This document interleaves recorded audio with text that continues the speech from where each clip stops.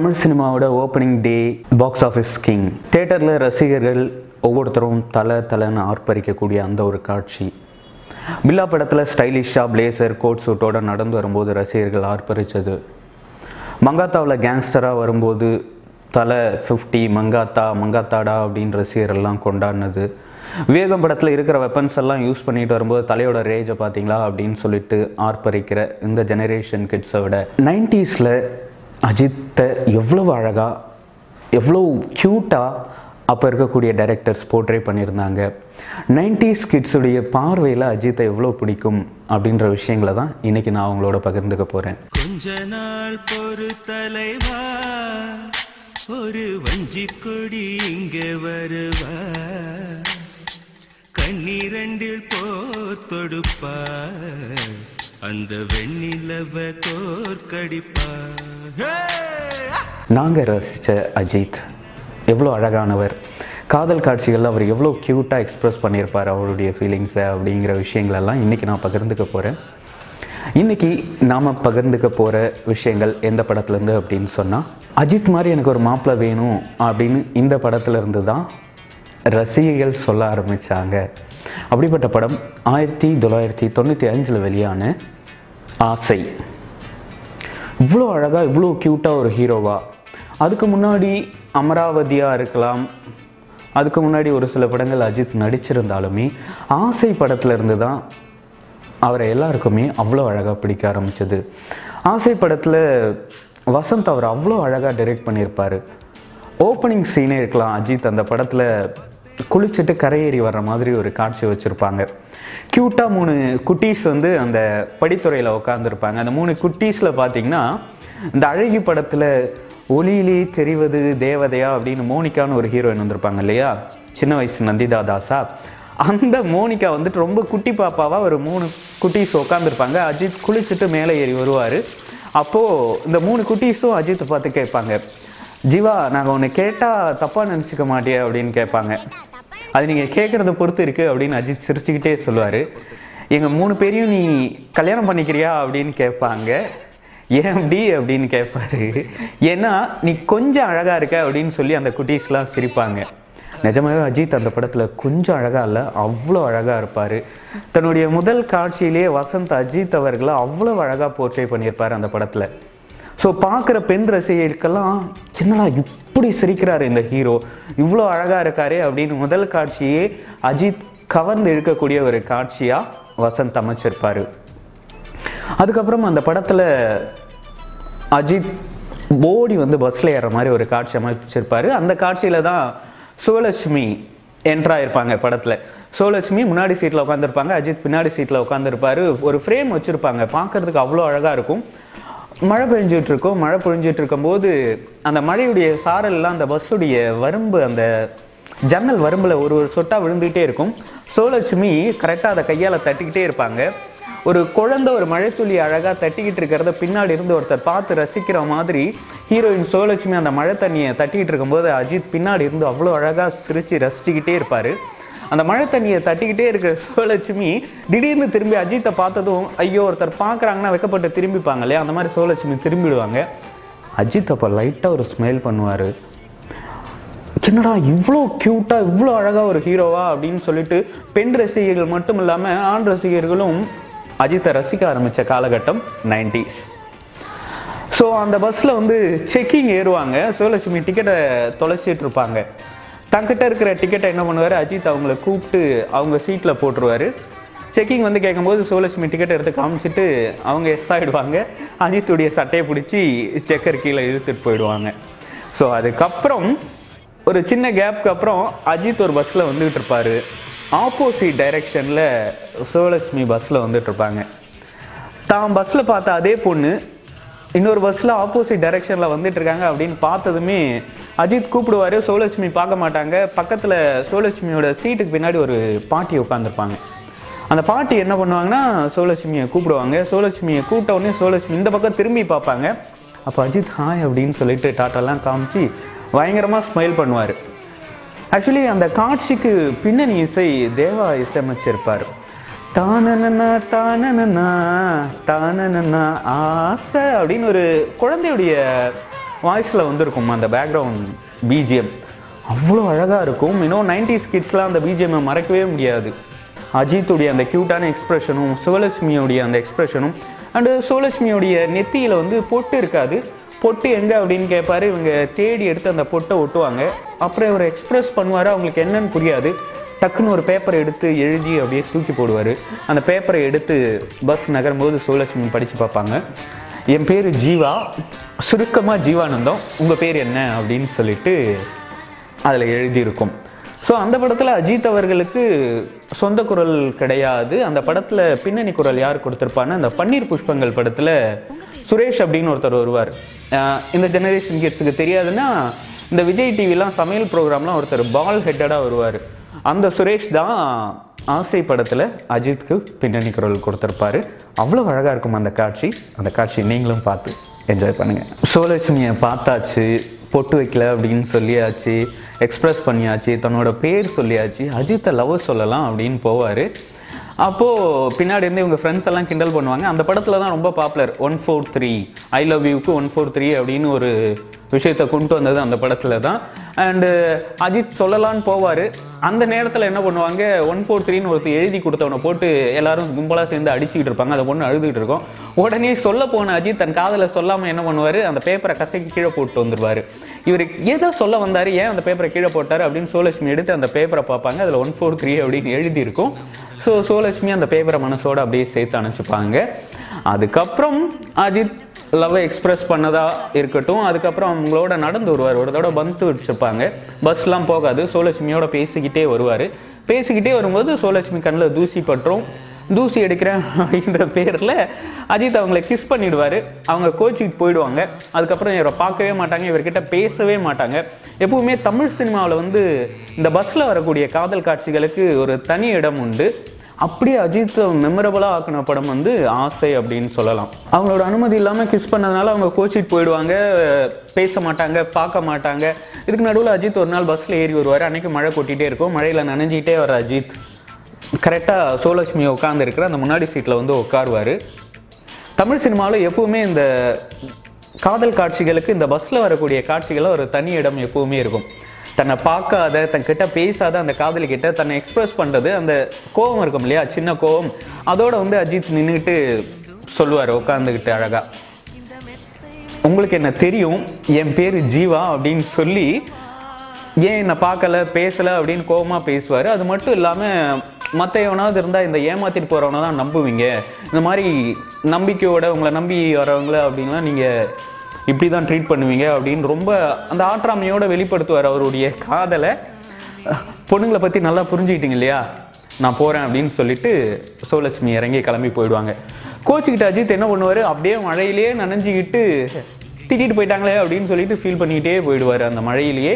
மழையிலே போனதில் ஜுரம் வந்துடும் அப்புறம் வழக்கம் போல் சோலட்சுமியோட ஃப்ரெண்டு வந்து சொல்லுவாங்க இருந்தாலும் ஜீவாவணி அப்படிலாம் திட்டியிருக்கக்கூடாது உன்னால் மழையில் நனைஞ்சி இப்போது ஃபீவர் வந்துருச்சு ஜீவாவுக்கு அப்படின்னுவாங்க. சோலட்சுமி போய் நிற்பாங்க ஏன் இப்படிலாம் பண்ணுறீங்க அப்படின்னு கேட்கும்போது காரணம் நீ தான் இந்த ஃபீவர் குணமாகணும்னா அது உன்னால் தான் ஆகும் அப்படின்லாம் சொல்லுவார். சொல்லிவிட்டு இதுக்கு மருந்து நீ தான் அப்படின்னு சொல்லுவார். சொன்ன உடனே கட்டிக்குவா அப்படின்னு கேட்பாரு சோலட்சுமி சொல்லுவாங்க கட்டிக்க வேணான்னு சொன்னனா அப்படின்வாங்க அப்போ ஆரம்பிக்குங்க தேவாவோட பயங்கரமான மியூசிக் அந்த டைமில் தேவாவோட பீக் அப்படின்னே சொல்லலாம்.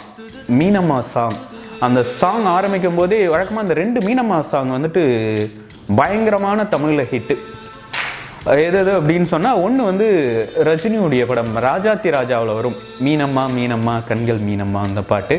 அதுக்கப்புறம் இந்த பாட்டு தான். மீனம்மா அப்படின்னு அஜித் சோலட்சுமி பேக்ரவுண்டில் இந்த ராஜு சுந்தரத்தோட டான்ஸ் இருக்கும். One of the best hit அப்படின்னு சொல்லலாம் அந்த பீரியடில் அண்ட் அஜித் அந்த பாட்டில் அவ்வளோ அழகாக இருப்பார். அந்த லொக்கேஷன் எல்லாமே அவ்வளோ ஃபென்டாஸ்டிக்காக கவர் பண்ணியிருப்பாங்க ஆசை படத்தில். ஸோ அந்த பாடல் அவங்களுக்காக வந்துகிட்டே இருக்குது பார்த்து என்ஜாய் பண்ணுங்கள்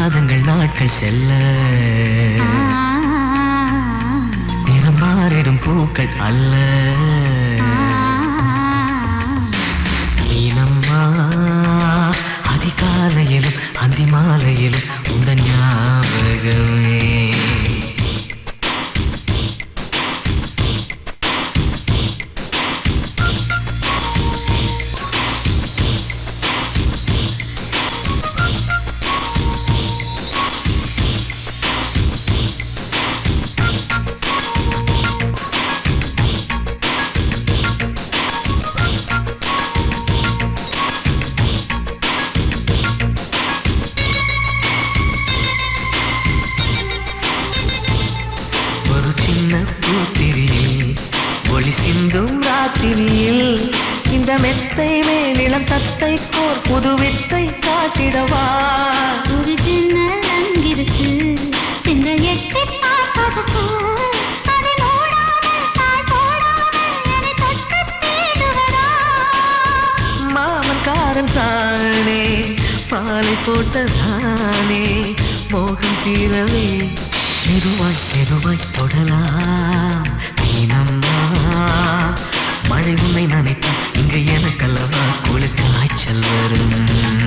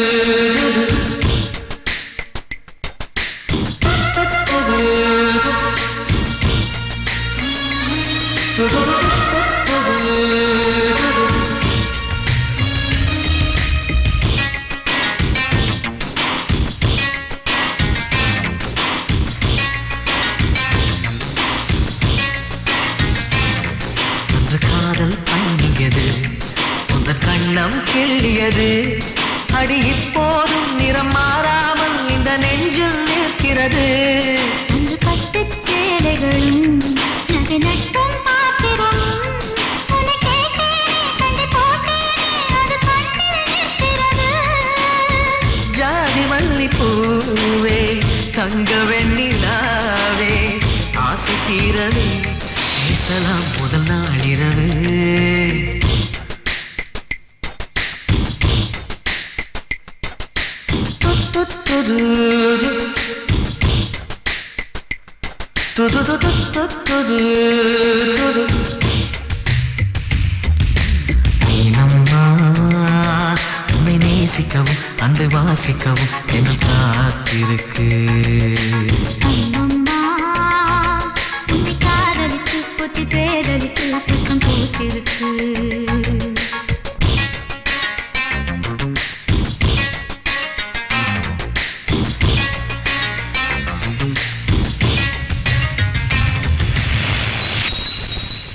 காதலிக்கிட்ட காதலை சொன்ன அஜித் காதலிக்கிட்ட சண்டை போடக்கூடிய அஜித் அது எல்லாத்தையும் தாண்டி இந்த நைன்டிஸில் லவ் பண்ணுற பிள்ளைகளுக்கு நாய்க்குட்டி வாங்கி கொடுக்கணும் அப்படின்ற கலாச்சாரத்தை கொண்டு வந்ததே அந்த ஆசைங்கிற படம் தான்.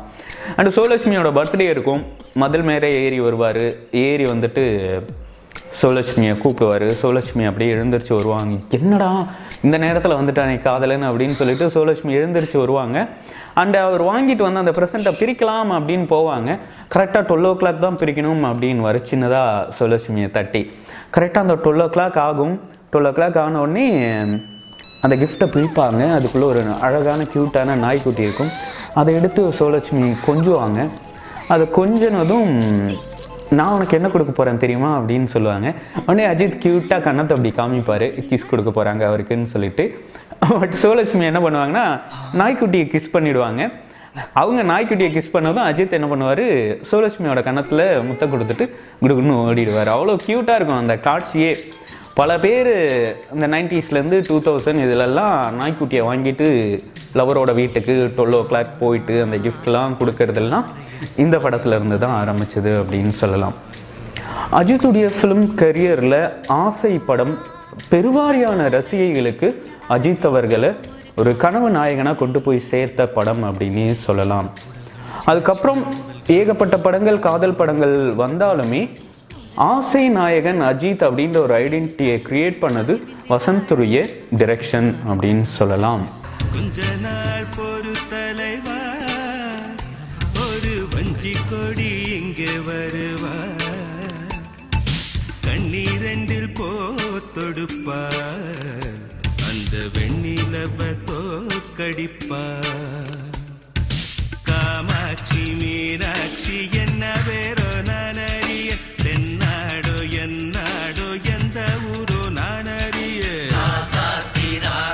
அடுத்ததா நாம பார்க்க போற படம் கண்டுகொண்டேன் கண்டுகொண்டேன். ரொம்ப ஒரு டெண்டர் ஏஜில் அஜித்தை நாம ஆசை படத்தில் பார்த்தோம்னா லைட்டாக தாடி வச்சு க்யூட்டாக ஒரு அஜித்தை பார்க்கணும் அப்படின்னா கண்டுகொண்டேன் கண்டுகொண்டேன். ரொம்ப மெச்சூர்டாக சட்டிலாக ஓவராக கத்தாமல் எல்லாருக்கும் பிடிச்ச மாதிரி ஒரு அஜித்துடைய ஃபேஸ் இருக்கும் அப்படின்னு சொன்னால் இந்த முகவரி கண்டுகொண்டேன் கண்டுகொண்டேன். இந்த காலகட்டத்தில் வந்த அஜித்துடைய படங்கள் தான். டைரெக்ஷன் பண்ணுறதுக்காக லொக்கேஷன் பார்க்கறதுக்காக ஒரு பெரிய வீடை தேடி போய் அந்த வீடை லொக்கேஷனுக்காக புக் பண்ணுறதுக்காக அஜித் போயிருப்பார். அண்டு பொண்ணு பார்க்க தான் வந்திருக்காரு அப்படின்னு சொல்லிட்டு தபுவை கூப்பிட்டு வந்து அவர் பெண் பார்க்கும் படலம்லாம் நடக்கும். இல்லை அவர் லொக்கேஷன் பார்க்க தான் வந்திருக்காரு அப்படின்னு தெரிஞ்சதும் டிசப்பாயிண்ட் ஆகி தபு அழுதுகிட்டே போயிடுவாங்க. அஜித்க்கு ஒரு கில்ட்டி ஃபீலிங்கோட வெளியில் வந்துருவார். அதுக்கப்புறம் அஜித் ஒரு ஷூட்டிங் ஸ்பாட்டில் இருப்பார். இவங்க அந்த வழியாக காரில் வருவாங்க தபு.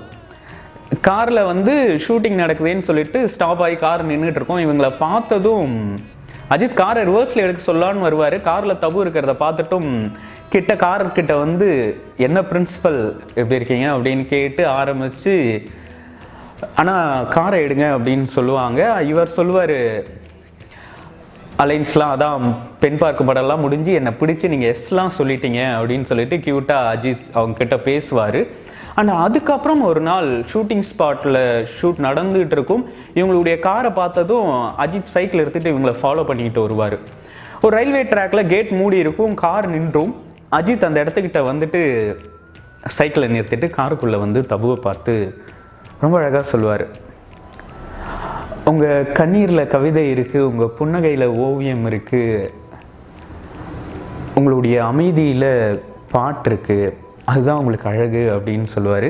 ஆனால் அதுக்கு முன்னாடி நீங்கள் அந்த படிக்கட்டில் நின்று இருந்தீங்க கண்ணீரோட பியூட்டிஃபுல் டியர்ஸ் அப்படின்லாம் சொல்லுவார். நீங்கள் என்ன சொல்ல வரீங்கன்னு எனக்கு புரியுது. இந்த காதல் கத்திரிக்காய் இதெல்லாம் எனக்கு செட் ஆகாது அப்படின்னு சொல்லுவாங்க. அப்போது அஜித் பேக்ரவுண்ட் வாய்ஸில் சங்கர் மகாதேவனுடைய வாய்ஸ் வரும். இல்லை இல்லை சொல்ல ஒரு கணம் போதும். இல்லை என்ற சொல்லை தாங்குவதென்றால் இன்னும் இன்னும் எனக்கு ஒரு ஜென்மம் வேண்டும். என்ன சொல்ல போகிறாய் சங்கர் மகாதேவன் வாய்ஸா இல்லை அஜித்துடைய வாய்ஸா அப்படின்னு நம்ம கன்ஃபியூஸ் ஆகிடும் ஏன்னா அவ்வளோ அழகாக அந்த வார்த்தைகளை அஜித் உச்சரிப்பார். அண்ட் அதுக்கப்புறம் வரக்கூடிய அந்த பாடல் காட்சி அவ்வளோ அழகாக இருக்கும்.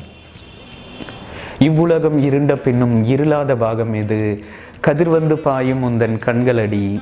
பல உலக அழகிகள் கோடி உன் பாதம் கழுவலாம் பாடி. என் கலைமலரே இன்னும் தயக்கம் என்ன? அப்படின்னு சொல்லிட்டு வரிகள் அவ்வளவு அழகாக இருக்கும். உச்சரிக்கக்கூடிய சங்கர் மகாதேவனுடைய குரல் அவ்வளவு அழகாக இருக்கும். ஏ ஆர் ரஹ்மான் அவர்களுடைய இசை அதை விட அவ்வளவு அழகாக இருக்கும். அந்த பாடல் காட்சி அந்த பாடலுக்காக சங்கர் மகாதேவன் அவர்களுக்கு தேசிய விருதியை கிடச்சிச்சு. இன்றைய அளவும் ஏ ரஹ்மான் அவர்களுக்கு தமிழ் சினிமாவில் மறக்க முடியாத பாடல்களில் சந்தன தென்றலை ஜன்னல்கள் தண்டித்தால் நியாயமா இந்த பாடல் ஒரு தனி இடம் பிடிச்சிருக்கும். அந்த பாடல் காட்சி உங்களுக்காக வருது.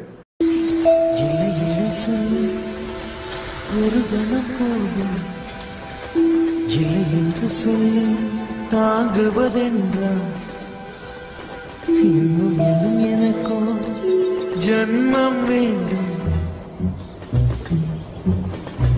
என்ன சொல்ல போகிறார்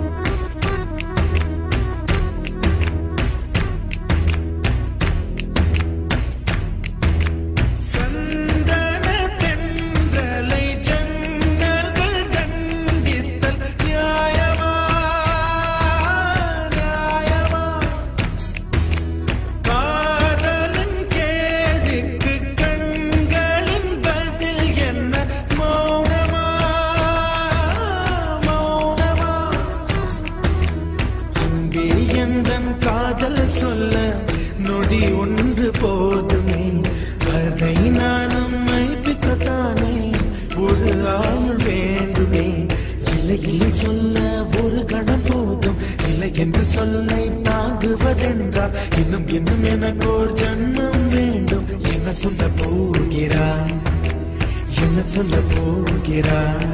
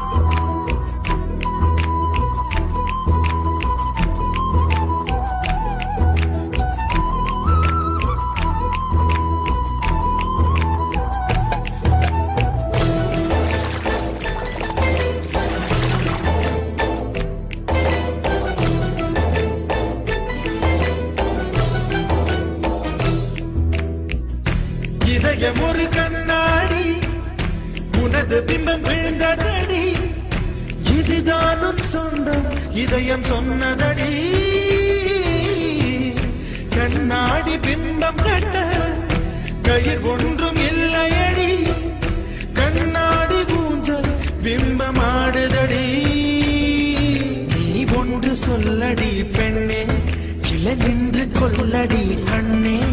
எந்த வாழ்க்கையே உந்தன் விழி விளிம்பில் என்னை துரத்தாதே உயிர் கரையேறாதே. இல்லை இல்லை சொல்ல ஒரு கண போதும். இல்லை என்று சொல்லை தாங்குவதென்றால் இன்னும் இன்னும் எனக்கு ஒரு ஜன்மம் வேண்டும். என்ன சொல்ல போகிறாய்? என்ன சொல்ல போகிறாய்? சன்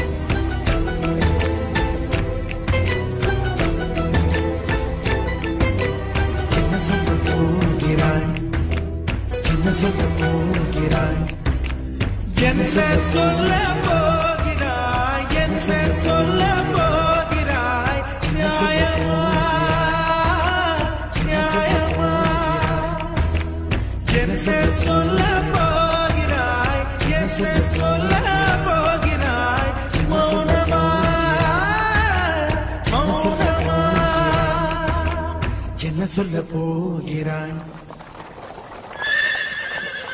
ஹீரோயின் தபுகிட்ட தன்னுடைய காதலை மறைமுகமாக சொல்லியாச்சு. மறுபடியும் அவங்கள சந்தித்து அஜித் தன்னுடைய காதலை வெளிப்படுத்துகிற மாதிரி வரும். அவங்கக்கிட்ட வந்து என்ன பிரின்சிபல் உங்கள் மாணவன் பாஸா ஃபெயிலா இல்லை ஸ்ட்ரெயிட்டாக டிசியா அப்படின்னு கேட்பார் அவர் கேட்டுகிட்டே இருக்கும்போது பேக்ரவுண்டில் ஏஆர் ரஹ்மானோட மியூசிக் அவ்வளோ அழகாக இருக்கும். அஜித் அதை சொன்னதும் தபு வைக்கப்பட்டு சிரிப்பாங்க. அண்டு உங்களை வெயிட் பண்ணுங்க அப்படின்னு சொல்கிறதுக்கு எனக்கு எந்த ரைட்ஸும் இல்லை. ஆனால் ஒரே ஒரு வருஷம் வெயிட் பண்ணுங்க அப்படின்னு சொல்லி அவருடைய காதலை வெளிப்படுத்துவார். டைட்டில் சூஸ் பண்ண சொல்லுவார் அவருடைய படத்துக்கு. அந்த நேரத்தில் தபுடைய கண்ணில் தூசு பட்டுரும். அந்த தூசை துடைக்கும் போது அவங்களுடைய கை வந்து இவர் கையில் வச்சுருக்கிற அந்த டைட்டில் செலக்ட் பண்ண சொல்லுவார் இல்லையா? அதில் ஒரு ஃபைலை தொட்டுடும் அந்த ஃபைலை ஓப்பன் பண்ணி பார்ப்பாரு. அதில் வேகம் அப்படின்னு இருக்கும். வேகம்ன்ற டைட்டில் சூப்பராக இருக்குது அப்படின்னு அவங்கள பாராட்டிட்டு போயிட்டு வந்துடுறேன் அப்படின்னு அஜித் வந்துட்டு காதலோட அந்த ட்ரெயின்லேருந்து தபுக்கு பாய் சொல்லிட்டு கிளம்புவார். தபு கீழே இருந்து பாய் சொல்லுவாங்க. அந்த காட்சியில் ஏ. ரஹ்மானுடைய பின்னணி இசையும் அஜித் அவர்களுடைய ரொம்ப அழகான மெச்சூர்டான அந்த நடிப்பும் அவ்வளவு யதார்த்தமாக இருக்கும். அந்த காட்சி உங்களுக்காக வந்துகிட்டே இருக்குது நைன்டிஸ் கிட்ஸுடைய ஃபேவரட் காட்சிகளில் அதுவும் ஒன்று பார்த்து என்ஜாய் பண்ணுங்கள் ஓகே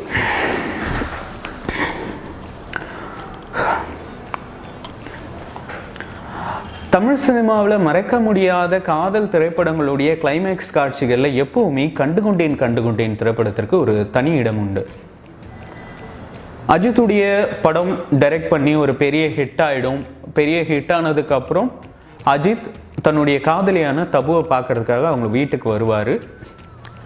தன்னுடைய கால்ஸ் எதையுமே அட்டன் பண்ணல தன்னை இக்னோர் பண்ணுறாரு அஜித் தன்னை மறந்துட்டாரு அப்படின்ற கோவத்துடைய வெளிப்பாடாக தபு என்ன பண்ணுவாங்க வெளிநாட்டுக்கு கிளம்புறதாவே முடிவு பண்ணிடுவாங்க.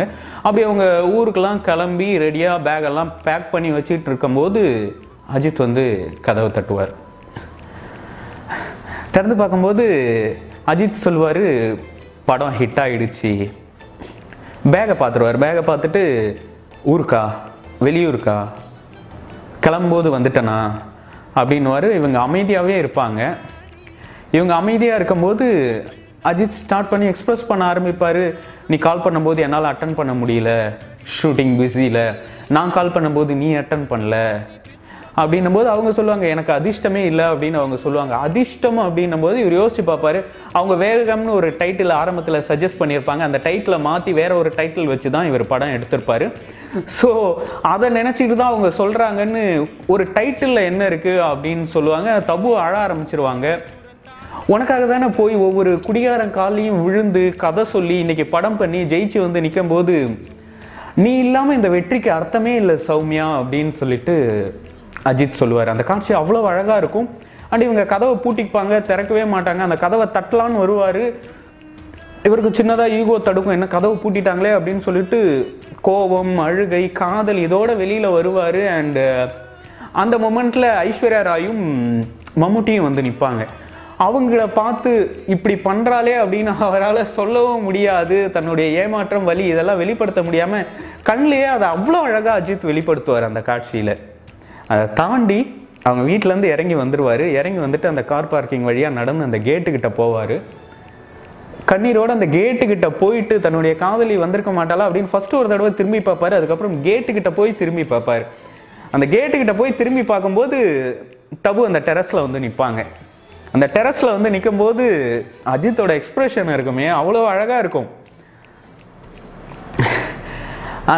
கண்ணிலே வெளிப்படுத்துவார். அந்த காதல் அவ்வளோ அழகாக கண்ணிலே வெளிப்படுத்திட்டு என்னை கல்யாணம் பண்ணிப்பியா? அப்படின்னு கேட்பாரு இவ் இதுக்கு பேக்ரவுண்டில் ஏ. ரஹ்மானுடைய மியூசிக் போயிட்டு இருக்கும் one of the golden BGM அப்படின்னு சொல்லலாம் ஏ. ரஹ்மானுடைய இசை அந்த காட்சியில். ஒரு கிளைமேக்ஸ் காட்சியை இவ்வளவு அழகுபடுத்தி கொண்டு போய் காமிக்க முடியுமா அப்படின்னு சொல்லிட்டு ஏ. ரஹ்மான் வெளிப்படுத்தியிருப்பார்.